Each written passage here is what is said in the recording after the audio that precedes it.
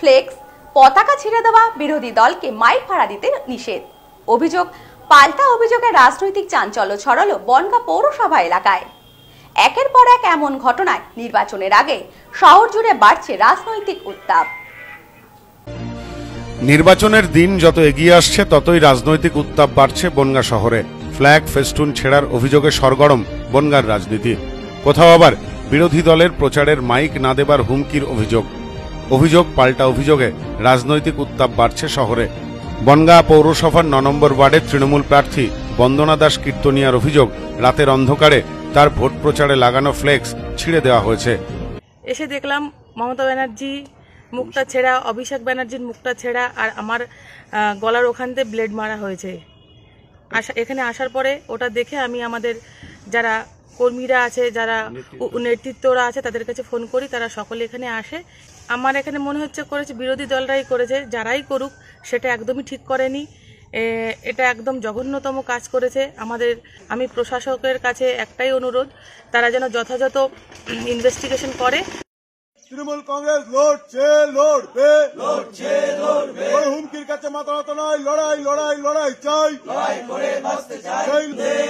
কোনো হুমকির কাছে মাথা নত নয় লড়াই লড়াই লড়াই চাই। লড়াই করে বাঁচতে চাই। সেই লড়াইয়ের নেত্রীকে ছিঁড়ে কখনো ভোটে জিতা যায়নি যাবে না। যায়নি যাবে না। কোনো হুমকি। প্রার্থীর দাবি রাতের অন্ধকারে এই কাজ করছে বিরোধীরা। অভিযোগ করছে কারণ এটা দুদিন আগে আমার ফ্লেক্স। আমার ফ্লেক্স ছিঁড়েছিলেন।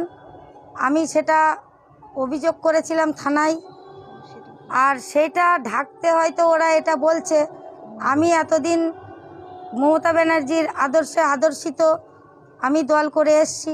আমি চাইব না আমার নেত্রী, আমার অভিষেক ব্যানার্জি, মমতা ব্যানার্জির ব্যানার যেখানে আছে বা তাদের ছবি আছে, সেখানে আমার এমন রাজনীতি শেখায়নি যে আমি তাদেরকে ছিঁড়ে মাটিতে ফেলব বা আমার সেই মনে আমার চাইবে না। আমি সেটা কখনো আশা করি না যে এই ধরনের আমার নামে বলবে। আর ওরা আমাদের, আমার ফ্লেক্সটা যেহেতু ছিঁড়েছে আমি বলেছি, সেই কথাটা ঢাকার জন্যে এখন হয়তো ওরা এই নিজেরাই এটা করে আমাকে দোষারোপ করছে। পাশাপাশি বনগা পৌরসভার দশ নম্বর ওয়ার্ডের তৃণমূল প্রার্থী কৃষ্ণা রায় এদিন সকালে অভিযোগ করে বলেন, তার নির্বাচনী এলাকায় বিভিন্ন ফ্ল্যাগ ফেস্টুন খুলে দেওয়া হয়েছে। ফ্ল্যাগ খুলে ফেলে দেওয়া হয়েছে ড্রেনে। ঘটনায় পাল্টা প্রতিক্রিয়া দিয়েছেন ওয়ার্ডের বিজেপি প্রার্থী দীপেন্দু বিকাশ বৈরাগী। যে রেগুলার রাত্রিবেলায় আমার ফ্ল্যাগ, ফেস্টুন, যা আছে সমস্ত কেটে দিচ্ছে বিজেপির দুষ্কৃতীরা। তৃণমূল দল থেকে তাকে প্রাপ্তি করা হয়েছিল। মানুষের দ্বারা নির্বাচিত হয়ে হয়েছে দল ত্যাগ করে চলে যায়। আবার এখন এসে বলছে, আমি কাছের মানুষ, কাজের মানুষ, কাছের মানুষ, কাজের মানুষ মানুষ, পরিচয় তার পেয়ে গেছে। মানুষ তার জবাব দিয়ে দেবে, আমি একশো পার্সেন্ট নিশ্চিত যে আমি জয়ী হবই। মানুষ আমার সঙ্গে আছে, কিন্তু এই অসামাজিক কাজগুলো করে একটা এলাকায় একটা বিশৃঙ্খলা তৈরি করছে। শনিবার দীপেন্দুবাবু একটি অডিও ক্লিপ প্রকাশ্যে এনে দাবি করেন, তার নির্বাচনী প্রচারের জন্য মাইক ভাড়া করেছিলেন। কিন্তু তার প্রচারের মাইক ভাড়া দিতে দোকান মালিককে নিষেধ করেছেন তৃণমূল প্রার্থী। এদিন এ প্রসঙ্গে কৃষ্ণাদেবী বলেন, আমার অডিও ক্লিপ দেখানো হোক, অন্যথায় এই অভিযোগ আমি মানব না। আমি তো বলছি, আমার যদি অডিও ক্লিপ ভাইরাল হয়ে থাকে অডিও ক্লিপটা দেখানো হোক, যে আমি বলেছি কাউকে যে এই মাইক এখানে লাগানো যাবে না বা বন্ধ করে দেওয়া হোক, এরকম যদি কোনো তথ্য প্রমাণ থেকে থাকে, যদি সৎসাহস থাকে, আমাকে দেখানো হোক, দেখে, দেখিয়ে কমপ্লেন করা হোক, আমি মেনে নেব। আদারওয়াইজ আমি কোনো কিছু মানব না। এদিনের অভিযোগ প্রসঙ্গে দীপেন্দু বৈরাগী আরও জানান, আমি কৃষ্ণা কাকিমার কাছে অনুরোধ করব, আমরা দুজনে মিলে চলুন থানায় গিয়ে অভিযোগ দায়ের করি। সম্পূর্ণ হাস্যকর অভিযোগ। কারণ বিগত ন তারিখে আমাকে মারার পর থেকে আজ পর্যন্ত আমার দেড়শো ফ্লেক্স লাগানো ছিল, আপনারা ঘুরে দেখুন। আমার রেডপাড়ার মোড়ে ফ্লেক্সটা পুরো ছিঁড়ে ফেলে দেওয়া আছে কাবলিপাড়া কাবলিপাড়া, এই কাবলির মোড়ে দুটো ফ্লেক্সই পুরো ছিঁড়ে দিয়েছে। সারা দুনিয়ায় আমাদের ফ্ল্যাগগুলো খুলে ফেলে দিয়েছে। আমরা রাজনৈতিক সৌজন্যে বিশ্বাস করি। আমরা এই ধরনের কোনো কাজই করি না। আবার আমাদের কোনো ছেলেরাই, আমরা কেউ কোনো দিন কোনো কারুর, কোনো রাজনৈতিক দলের অসম্মান করা আমাদের রাজনৈতিক সৌজন্যের মধ্যে নেই। বলছেন যে ফ্ল্যাগ নাকি পড়ে রয়েছে মাটিতে। সে কী কোথায় কী করে পড়ে রয়েছে? তো আমাদের প্রচুর ফ্ল্যাগ পড়ে রয়েছে মাটিতে। তাহলে আমাদের সবাই মিলে যৌথভাবে তদন্ত করতে হবে। আমি মাননীয় আমার কাকিমার কাছে অনুরোধ করব যে, কাকিমার, আমি মিলে আমরা খোঁজ করি যে কারা আপনারটাও ছিটছে আমারটাও ছিটছে যদি ছিঁড়ে থাকে, আমি জানি না ছিঁড়েছে কিনা। আমারটাও তো ছিঁড়ে ছেড়ে পরিষ্কার।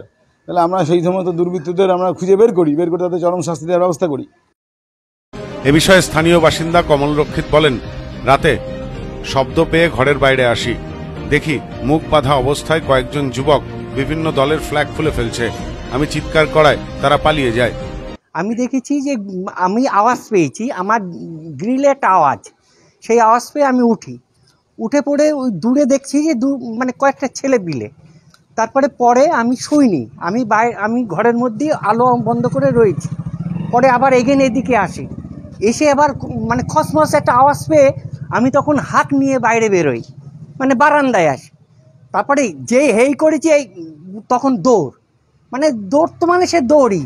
না আমি হাফ প্যান্ট পরা। দেখলাম হাফ প্যান্ট পরা সাদা প্যান্ট হাফ প্যান্ট ছিল পরা। আর ওই মুখে গামছা না তোয়ালে দিয়ে ইয়ে করা পেঁচানো। মুখ চিনতে পারিনি আমি। সকালে উঠে দেখি রাস্তায় ফেলে ইয়ে সব পড়ে রয়েছে। সব পতাকা পড়ে রয়েছে। সব মিলিয়ে নির্বাচনের আগে বারবার এই ধরনের ঘটনা সামনে আসায় রাজনৈতিকভাবে অস্থিরতা তৈরি হচ্ছে। সে কথা বলাই যায়। দীপ বিশ্বাস ও সব্যসাচী ভট্টাচার্যের রিপোর্ট নিউজ নোম্যান্সল্যান্ড বনগা।